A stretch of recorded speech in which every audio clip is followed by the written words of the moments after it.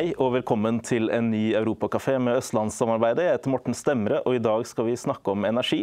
Eh, I mange tiår har de fleste av oss tenkt på Norge som et land med en overflod av energi. I dag er det mye mer fokus på utfordringene med et kommende kraftunderskudd og en strammere effektbalanse her på Østlandet. Samtidig skal vi gjennom en omfattende grønn omstilling som krever at vi produserer mer fornybar energi raskere og utvikler kraftnettet. Det er også kommet en ny global naturavtale. Og regjeringen har annonsert at det skal komme en ny nasjonal eh, naturplan. Med andre ord så skal vi løse energiutfordringene våre samtidig som vi blir bedre på naturvern, miljøvern og bærekraftig arealforvaltning. Energi er ikke bare en utfordring i Norge, det er også et stort spørsmål i EU. Derfor er jeg så heldig at vi har fått med deg, Ragnar Stevenseth, som er spesialutsending for energi på den norske EU-delegasjonen. Velkommen. Takk for det. Hvor er EU i dag når det kommer til energipolitikk og energisituasjonen, hvis du sammenligner med for et år siden? Nei, Den kontrasten er jo slående.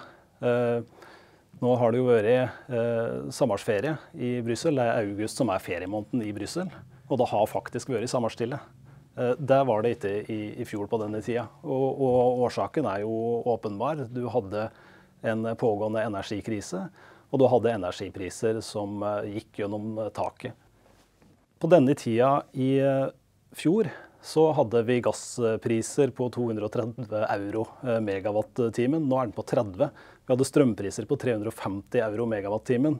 Nå ligger den eh, kanskje på rundt 80. Eh, det er en helt annen situasjon i forhold til, til disse tinga.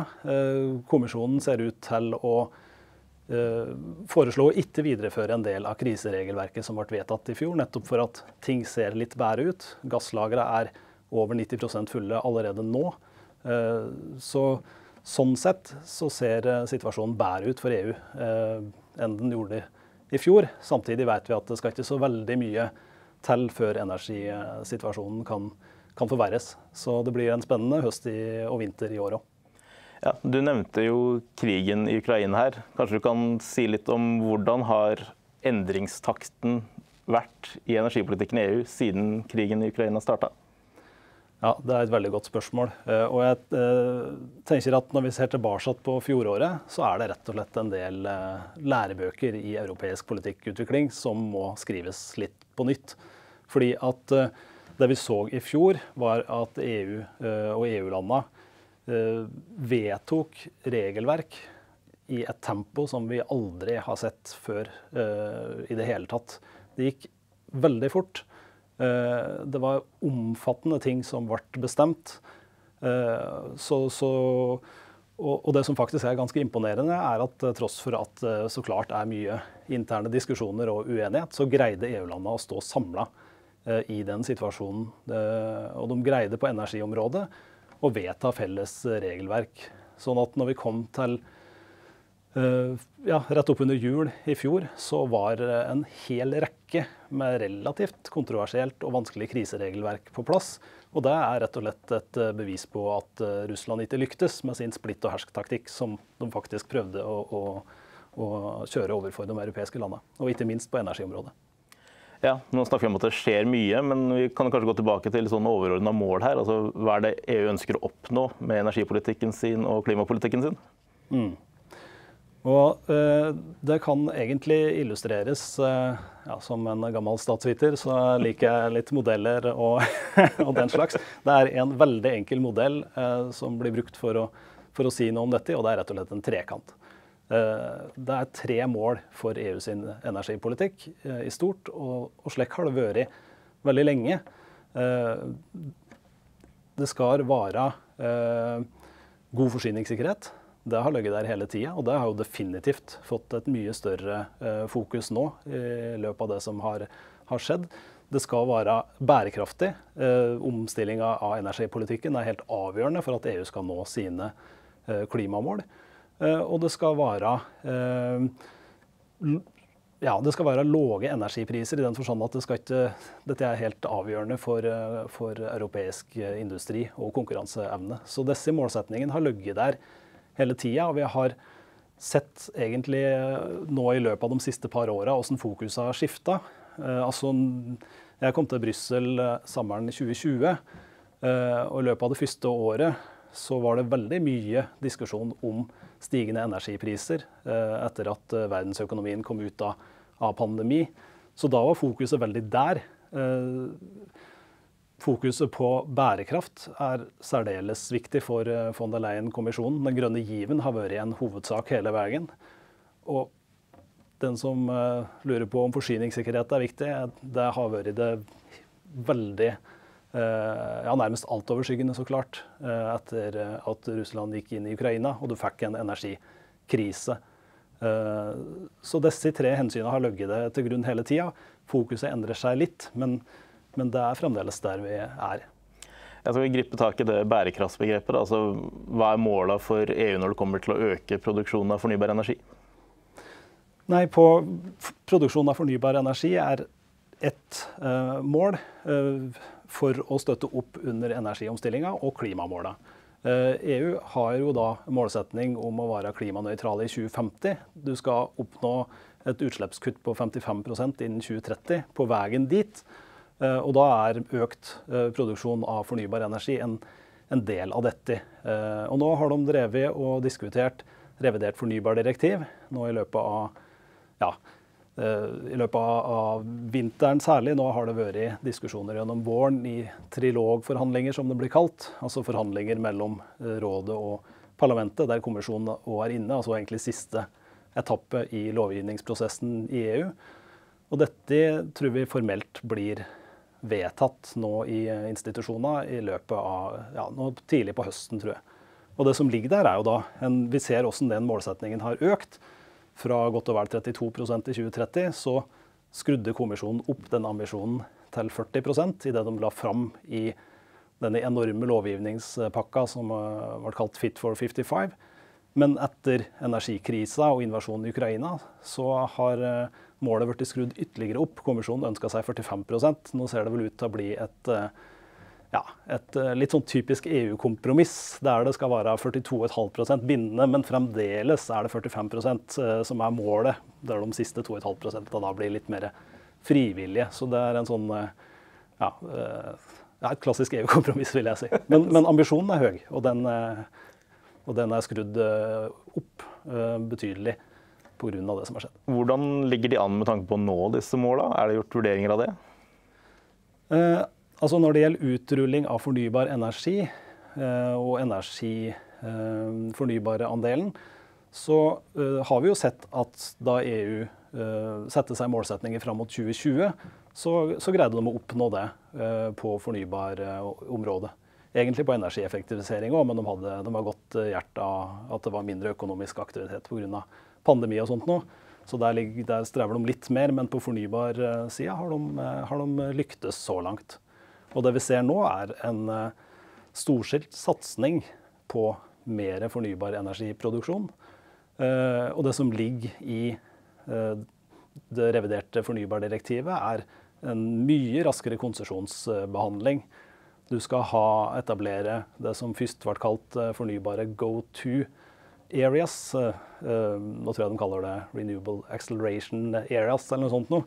Men områder der konsesjonsbehandlinga skal gå virkelig fort. Men, men det sier seg jo sjøl òg. Altså hvis, uh, dette er jo viktig for energiomstillinga, for å nå klimamål. Men for å gjøre seg mindre avhengig av importert energi, så er det jo helt åpenbart at energi, uh, må, må, opp. Og det er ganske, ganske raskt. Ja, Du nevnte jo at det skal bli raskere konsesjon her. Eh, vi snakka om innledning om at det skal tas også mer hensyn til naturvern og miljøvern og bærekraftig arealforvaltning. Eh, hvordan håndterer man de spørsmålene opp mot et ønske om å enda raskere konsesjonsbehandling og få mer produksjon raskere? Nei, eh, Det kommisjonen sier, er at det skal være mulig å få til begge deler. Og at han må sørge for å ta disse, disse hensynene.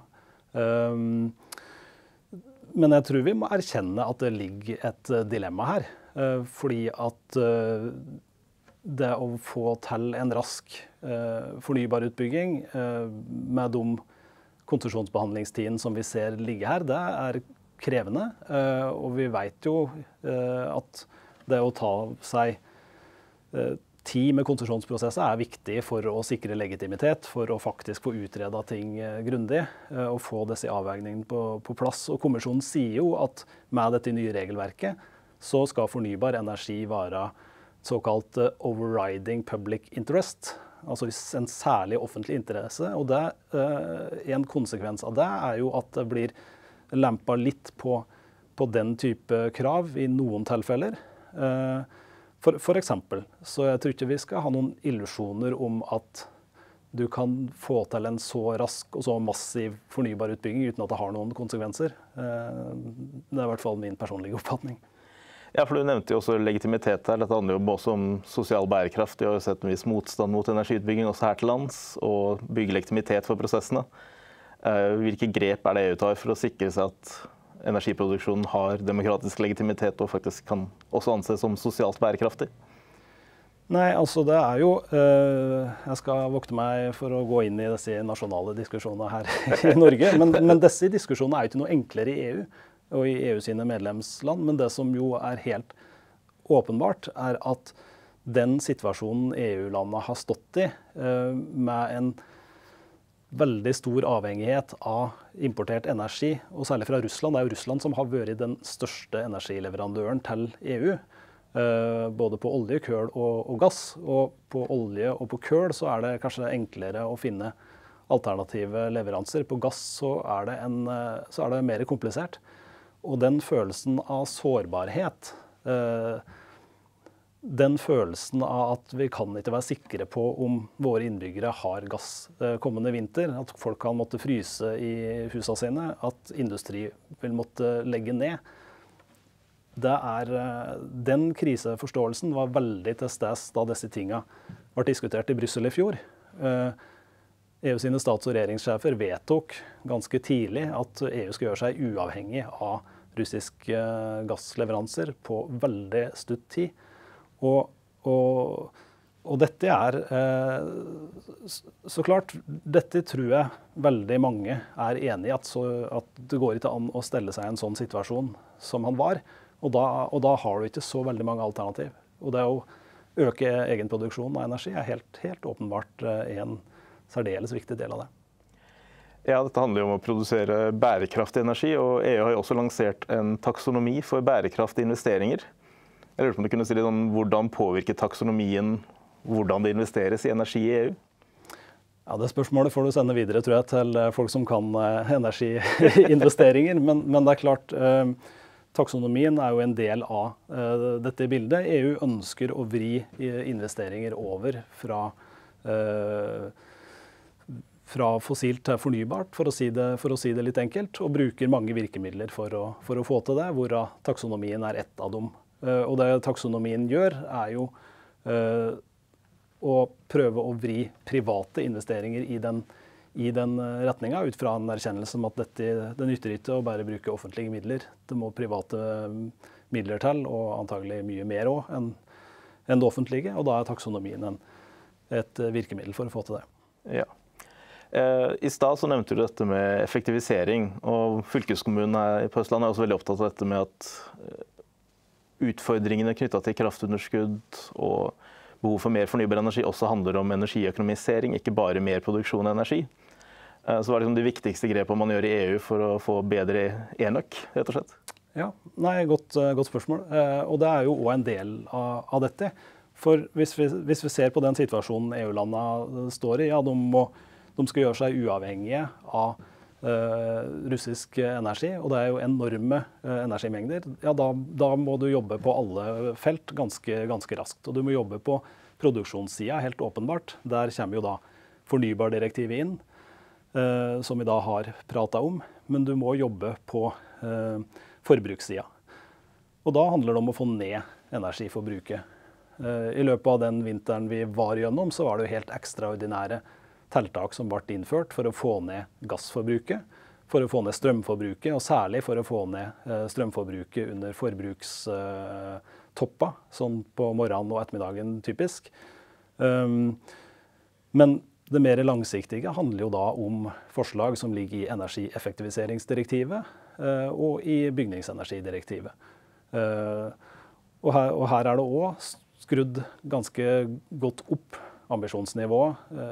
Det var ambisiøst i det som var lagt fram i denne Fit for 55-pakka fra 2021. Og det er blitt stramma til ytterligere gjennom Repower EU, som var den lovpakka kommisjonen la fram for å håndtere energikrisa. Og hvis vi skal titte litt på det, da har jeg en liten jukselapp her. Men for å se litt på, på de konkrete målsetningene som, som, som ligger der, så ser vi f.eks. på energieffektiviseringsdirektivet at, at, er, at målet er skrudd, skrudd opp. Sånn at, sånn at opprinnelig så det, var det lagt opp til et mål om 32,5% energieffektivisering innen 20, 2030. Men det som ligger på bordet nå, er betydelig mer. Så her er målet å redusere primærenergiforbruket som det heter, med 40,5 godt og vel, og sluttforbruket med 38 sammenligna med en referansebane fra 2007. Dette blir litt teknisk, men, men poenget er at energiforbruket skal ned. Og det er ganske klare krav på det. Det er klare krav til uh, og mye uh, energi som skal brukes totalt. Uh, og den kurven skal nedover. Men Stiller EU detaljerte krav til hvordan dette skal skje, eller er det mer opp til medlemslandene selv å finne sine individuelle løsninger der? Ja, dette er jo direktiver, og da har du større handlefrihet enn ved forordninger. Så, så medlemslandene må jo konkret finne ut hvordan dette, dette skal skje. Og det, og det, er et viktig poeng, for det gjelder jo både energieffektivisering og det gjelder òg bygningsenergidirektivet, som òg eh, skal få Eh, energiforbruket ned. Kravene stilles til medlemslandet, som må finne ut hvordan dette skal gjennomføres i, i praksis. Uh, og ja, F.eks. bygningsenergidirektivet. Det er ganske, ganske interessant å, å se.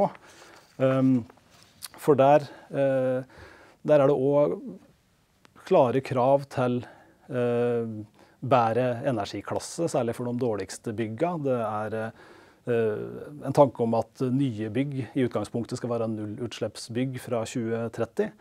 Og eh, med denne eh, Repower EU-pakka som, som, kom i forbindelse med energikrisa, så legges det inn krav om å installere solenergiproduksjon på, på hustak. Og disse kravene er ganske, ganske ambisiøse, må, må, det være lov å si. Men, de, men det er jo krav som stilles til medlemslandene, som da må Eh, lage eh, insentiver og eh, ordninger for å, for å kunne oppfylle dette. Du nevner jo medlemsland her. Norge er jo ikke et medlemsland. Uh, uten å skulle gå inn på sånne detaljer rundt EØS-relevans for alle mulige direktiver. Altså hvor, I hvor stor grad påvirker denne politikken her hva vi gjør i Norge? Nei, jeg tenker gjennomgående at det som diskuteres og vedtas i EU nå, dette har stor betydning for oss. Eh, det har eh, betydning direkte i den forstand at deler av regelverket eh, vil være såkalt EØS-relevant, at vi tar det inn i avtalen, at det skal implementeres her. Men sjøl de delene av regelverket som, som, ikke har en slik status, vil jo påvirke, vil jo påvirke oss. Så, så, så oppfordringa mi vil i hvert fall være helt soleklar til norske aktører følge med på dette. Eh, og, og, ta, og, og, ta, del i den europeiske diskusjonen som, som, pågår.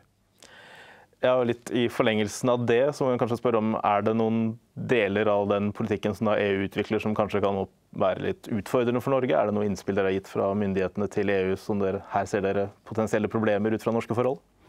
Ja, altså På myndighetssida så, så, prøver vi jo å delta i den diskusjonen som pågår i Brussel. Det er jo grunnen til at uh, vi har en, en EU-delegasjon der. Det er jo en uh, ja, bruker jo å si at den norske EU-delegasjonen i Brussel er den største, beste og dyreste utenriksstasjonen vi har. Jeg veit ikke helt om det er riktig, men det blir sagt. Men uansett så er den, så er den største, det er i hvert fall sikkert. Og, og vi som jobber der, det gjør delegasjonen litt spesiell. Vi er jo eh, ikke utsendt fra Utenriksdepartementet, de fleste av oss. De fleste av oss kommer fra fagdepartement. Og det er jo rett og slett fordi at det som diskuteres og vedtas i Brussel, det er jo ikke utenrikspolitikk. Det blir jo fort norsk innenrikspolitikk. Ja, Du anbefalte jo at folk skulle følge med på hva som skjer i EU. Altså, hva er det beste tipsa dine på hvordan man bør følge med? Ja, Det er jo litt slik at i, i Brussel så er jo ikke problemet mangel på informasjon. Problemet er at du drukner litt i det. For det er så mye som skjer hele tida. Så hvis jeg skal komme med ett tips, så er det kanskje å bruke EU-parlamentet sine, sine sider hvis han ønsker å følge med på helt konkrete lovsaker. Eh, de har prøvd da å gjøre dette litt mer tilgjengelig, og eh, ja, sånn lett humoristisk så har de da laga en, en togtabell. De kaller det en eh, legislative train schedule.